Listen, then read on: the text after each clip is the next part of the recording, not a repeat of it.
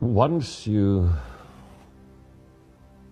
have more than you ever thought you would ever get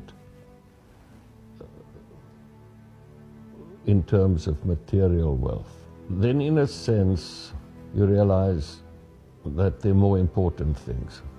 But I tell my kids before you can do good, it helps to do well.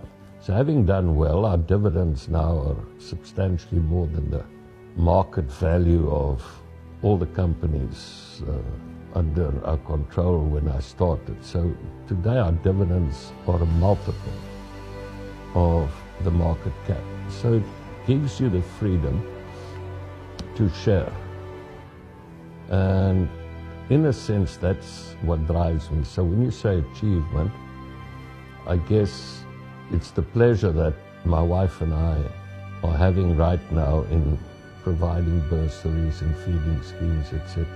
I think that in the end is the real measure of success.